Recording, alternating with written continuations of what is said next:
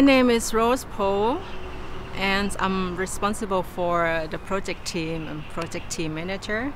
And my responsibilities are make sure that the projects are doing well, and also our partners are doing what we expected, and also to keep, you know, good communication with them. You know, I've been living in Germany for 15 years, and during my time in Germany, I was uh, very much interested in the charity work because I started a community website for Thai and German people. So every time when we come to uh, Thailand, we like to visit NGO projects.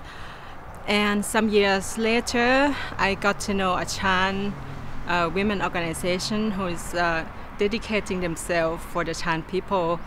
And we read one of their report, uh, which is about uh, the Burmese military using, you know, um, a weapon against the Shan people by abusing the women in Shan state. So since then, I involved myself so much in helping, you know, uh, people from Burma, especially uh, for the Shan.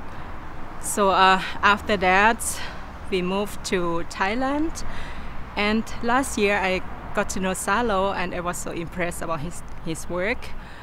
And I think I I share, you know, the same principle what uh, Salo has, and I like what he does a lot. So I joined PCF. Yes, I like to to help people. I, I feel good. I feel like my life uh, has a meaning and and also I like people in PCF. I think we also share the same goal and missions as well.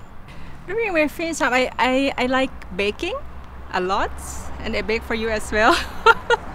the last times, and I like doing uh, gardening. Yes.